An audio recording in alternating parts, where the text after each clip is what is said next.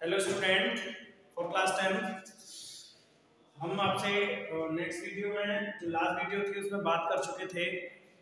Embryonic development से सारे related related topics की हम आपसे बात कर चुके थे।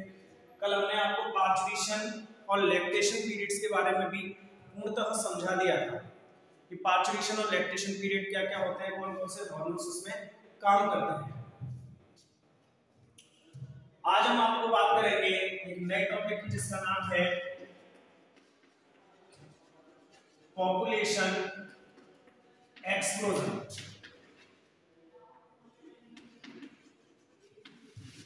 पॉपुलेशन एक्सप्लोजन की हम आपसे बात करेंगे।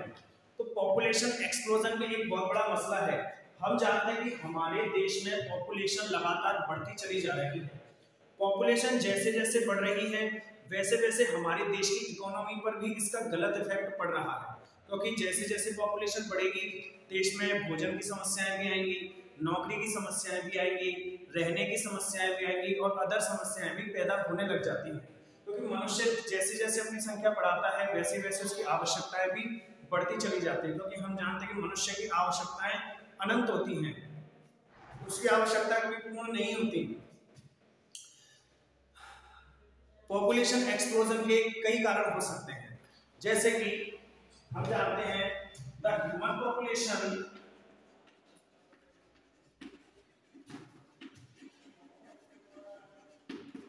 increase day by day human population दिन प्रतिदिन बढ़ती चली जा रही है। The increase population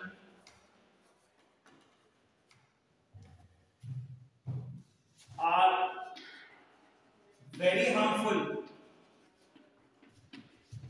for economy from a shelter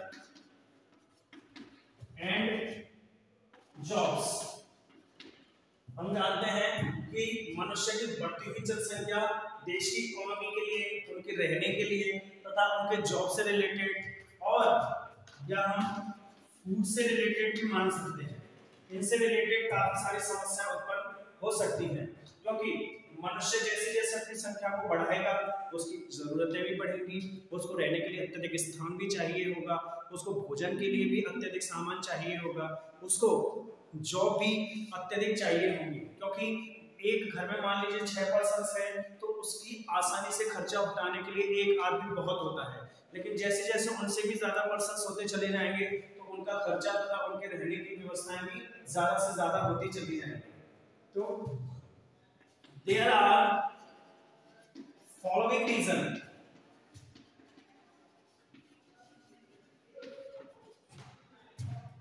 to population explosion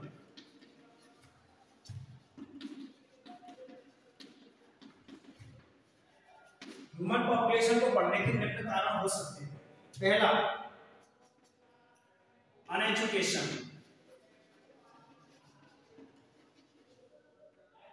दूसरा early marriage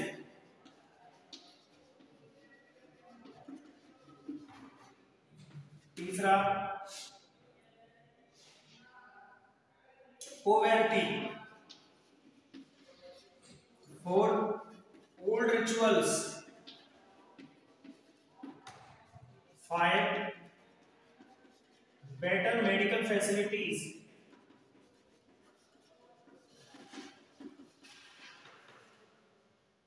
six proper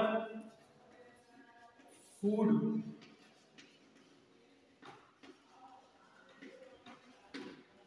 number next better storage किसका? फ़ूड का। तो ये कुछ कारण यहाँ पर हैं जिसकी वजह से ह्यूमन पॉपुलेशन लगातार बढ़ती चली जा रही है। पहला है अनएजुकेशन हम जानते हैं कि हमारे इंडिया में एजुकेशन बहुत कम है। यहाँ पर बहुत साक्षरता कम है। बहुत ऐसे भी गाँव के क्षेत्र हैं या बहुत से अलग ऐसे क्षेत्र हैं जहाँ पर बच्चों को पढ़ाया नहीं जाता या उनको उचित शिक्षाएँ नहीं दी जाती कि पॉपुलेशन एक्सप्लोजन के क्या क्या हानियाँ हो सकती हैं या उनसे रिलेटेड कौन कौन सी समस्याएँ पैदा हो सकती हैं। ऐसी कोई भी एजुकेशन हमारे देश में बच्चों को अच्छे से नहीं दी जाती। यदि कोई बच्चों को देता भी है तो बच्चे उसको गलत वे में लेते हैं और जिसके कारण उनको और हमारे देश दोनों को ही हानियों का सामना करना पड़ता है। तो शिक्षा एक सबसे महत्वपूर्ण चीज़ है। शिक्षा का अभाव होना हमारे देश की इकोनॉमी को गिरना तथा मनुष्य की जनसंख्या को बढ़ने को शो करता है। अर्ली मैरिज पहले समय में लोग बच्चों की बहुत जल्दी शादियाँ कर दिया करते थे, जिसके कारण वे अत्यधिक संतानें पैदा करते थे, क्योंकि जब तक वो यंगेस्ट या एडल्ट स्टेज तक पहुँचते थे, तब तक उनके काफ़ी सारी संतानें हो जाया करते थे। इस तरह से पॉपुलेशन लगातार बढ़ती चली गई, क्योंकि लोगों में एजुकेशन नहीं थी। उनको ये नहीं पता था कि जल्दी शादी करने से शारीरिक, मानसिक तथा कंट्री से रिलेटेड भी समस्याएँ उत्पन्न हो सकती हैं। पहले लोग लड़कियों की जल्दी शादियाँ करते थे, थे।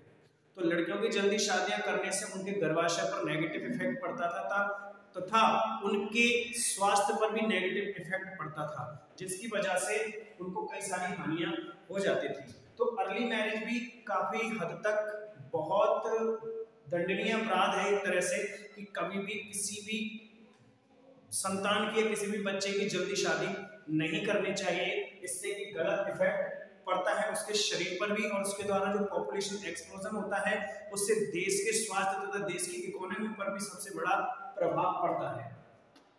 पोवेरिटी पोवेरिटी माने गरीबी। तो गरीबी भी एक ऐसा माइनस पॉइंट है हमारे देश में जनसंख्या को बढ़ने के लिए, जिसके वजह से, क्योंकि गरीब लोग ये समझते हैं कि हमारी जितनी ज़्यादा से ज़्यादा संतान होगी, उतना ही हमारे पास धन आएगा, क्योंकि जब संतान ज़्यादा होंगी तो वे बड़े होंगे और ज़्यादा से ज़्यादा नौकरी करेंगे, ज़्यादा से ज़्यादा धन घर पर लेकर आएँगे तो वो ये समझते थे कि हम ज़्यादा से ज़्यादा संतानें पैदा करें, जिससे कि हमारे घर पर इकोनॉमी अच्छी बनेगी और ज़्यादा से ज़्यादा धन आएगा। तो पोवेरिटी एक सबसे बड़ा कारण रहा है शुरू से हमारे देश में, क्योंकि हमारा देश एक गरीब था पहले भी, पहले तो इतना गरीब नहीं था, लेकिन अब कुछ ज़्यादा है, क्योंकि लोगों की मानसिकता बहुत नीच होती चली जा रही है। तो पोवेरिटी गरीबी एक बहुत बड़ा उदाहरण रहा है देश में। जनसंख्या के बढ़ने का। जैसे जैसे गरीबी आती है, लोग ज़्यादा से ज़्यादा संतान उत्पन्न करते हैं। ज़्यादा से ज़्यादा संतान उत्पन्न करके भी ये समझते हैं कि ज़्यादा से ज़्यादा नौकरी करेंगे और ज़्यादा से ज़्यादा हमारे पास धन आएगा। लेकिन ज़्यादा संतानों में सभी संतानें तो ऐसी नहीं होती जो माँ बाप के बारे में सोचे या अपने किसी अच्छे स्वास्थ्य के बारे में, अच्छी चीज़ों के बारे में सोचे। उनमें से कुछ संतानें बहुत बिगड़ी हुई निकल जाती है, जिसकी वजह से देश को काफ़ी सारी समस्याओं का सामना करना पड़ता है। ओल्ड रिचुअल पुराने समय के लोग ये मानते थे कि घर में लड़के का होना अत्यधिक आवश्यक है। घर में एक संतान लड़के की भी होना ज़रूरी है। तो लड़के की चाह में भी कई सारी संतान उत्पन्न कर दिया करते थे, जिससे बहुत सारी लड़कियाँ पैदा हो जाया करती थी। क्या कुछ ये मानते थे कि घर में एक लड़की होना होना बहुत आवश्यक है? तो उसकी चाह में भी वो काफ़ी सारे लड़के पैदा कर दिया करते थे। इस वजह से भी लगातार संतानों संतानों में वृद्धि होती चली गई। तो इस तरह से मनुष्य की पॉपुलेशन भी लगातार increase by increase by increase होती चली गई। तो ये कुछ कारण हैं जिनको आप अपनी कॉपी में भी नोट कर सकते हैं।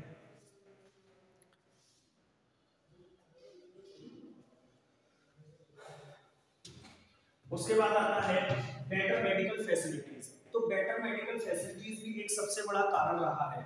आज हमारे देश में बायोटेक्नोलॉजी इतना ज़्यादा ऊपर है। आज हम जिस युग में रहते हैं, उस युग को हम बायोटेक्नोलॉजी का युग कहते हैं। बायोटेक्नोलॉजी के युग में आज मेडिकल फैसिलिटीज़ इतनी अच्छी हो गई है क्योंकि विभिन्न प्रकार के बैक्टीरिया पर स्टडी करके या उनके डीएनए में परिवर्तन करके या उनके अंदर चलने वाली हार्मोनल वैल्यूज़ में परिवर्तन करके आज हमने इस इस प्रकार की मेडिसिन बना ली है जो हार्मफुल से हार्मफुल ट्रीटमेंट को भी सही कर सकती हैं हार्मफुल से हार्मफुल बीमारी को भी सही कर सकती हैं। इसीलिए आज बेटर मेडिकल सुविधाएँ हैं। लोग मरने के अवस्था तक होते होते भी उन मेडिसिन के माध्यम से या ऑपरेशन के माध्यम से उनको आसानी से बचाया जा सकता है। तो बेटर मेडिकल फैसिलिटीज़ एक सबसे बड़ा कारण है जनसंख्या के बढ़ने का। तो जैसे जैसे बेटर मेडिकल फैसिलिटीज़ बढ़ती चली जाएँगी वैसे वैसे लोगों की जो मोर्टेलिटी रेट है वो कम होती चली जाएगी और नेटिलिटी रेट बढ़ती चली जाएगी। आज हम देख रहे हैं कि मेडिसिनल वैल्यूज़ को देखते हुए आज शायद ही ऐसी कुछ बीमारियाँ होंगी जिनके, जिनसे रिलेटेड आज हमारे पास मेडिसिन नहीं है। उन पर भी अभी काफ़ी सारे रिसर्च चल रहे हैं, उनसे भी रिलेटेड मेडिसिन बहुत जल्दी ही मार्केट्स में आएँगी और उनका भी इलाज खोजा जा पाएगा। तो बेटर मेडिकल सुविधाओं का सबसे बड़ा रीजन रहा है बेहतर जेनेटिक इंजीनियरिंग प्रोसेस या बायोटेक्नोलॉजी या मैनिपुलेशन भी आप उसको कह सकते हैं। इस चीज़ में हम डीएनए में अपने डिज़ायर कैरेक्टर ऐड करके एक ऐसी चीज़ें बना सकते हैं जिसकी वजह से हम किसी हार्मफुल से हार्मफुल बीमारी को भी ब्रेक कर सकते हैं। प्रॉपर फ़ूड सब्सटेंसेस ये भी एक बायोटेक्नोलॉजी का उदाहरण है। आज बायोटेक्नोलॉजी के माध्यम से हमने इस प्रकार की फर्टिलाइजर्स उत्पन्न कर लिए हैं जिनसे खेत की या किसी फ़ील्ड की फर्टिलाइजिंग पावर काफ़ी अच्छी हो चुकी है। फर्टिलाइजिंग पावर होने से हम कई सारी ऐसी हाइब्रिड स्पीसीज पैदा कर पा रहे हैं, जिनकी ग्रोथ बहुत रैपिड होती है और काफ़ी लंबे समय तक भी स्टोर किए जा सकते हैं। आज हमारे पास बड़े बड़े स्टोर हाउस होते हैं। कोल्ड स्टोरेज ले लीजिए, घरों में ड्राई स्टोरेज होते हैं तो ऐसे बहुत सारे स्टोरेज होते हैं जहाँ पर अपनी हम बहुत सारे फ़ूड सर्विसेज़ को आसानी से स्टोर कर सकते हैं बहुत लंबे पीरियड तक उसको खाया जा सकता है। जब तक दूसरी खेती तैयार हो जाती है। तो आज हमारे पास ऐसे ऐसे फर्टिलाइजर्स हैं, ऐसे ऐसे बैक्टीरियाज हमने उत्पन्न कर लिए हैं, जिसकी वजह से सॉइल की फर्टिलिटी को बहुत ज़्यादा इंक्रीज किया जा सकता है। ये भी एक बहुत बड़ा कारण रहा है ह्यूमन पॉपुलेशन के एक्सपोज होने का। बेहतर फ़ूड स्टोरेज जैसा कि मैंने बताया कि हमारे फ़ूड को स्टोर करने के लिए बहुत बेहतर से बेहतर ऐसी चीज़ें हैं जिनमें आप फ़ूड को बहुत अच्छे से स्टोर कर सकते हैं। जैसे बड़े बड़े कोल्ड स्टोरेज आपके आसपास देखे जा सकते हैं। आप जहाँ रहते हैं, वहाँ पर कोल्ड स्टोरेज भी हैं। जिनमें हम बहुत सारी हरी सब्जियों को या वैसी सब्जियों को या खाद आई मीन कह सकते हैं, अनाजों को भी आसानी से स्टोर कर सकते हैं। ड्राई स्टोरेज में हम अनाज हैं, दाल है, चावल है, गेहूँ है, इन सारी चीज़ों को आसानी से स्टोर कर सकते हैं। हम अपने घरों में भी काफ़ी सारे ऐसे ड्राई स्टोरेज रखते हैं, जैसे गेहूँ की टंकियाँ ठीक है, उनमें आसानी से फ़ूड को स्टोर किया जा सकता है।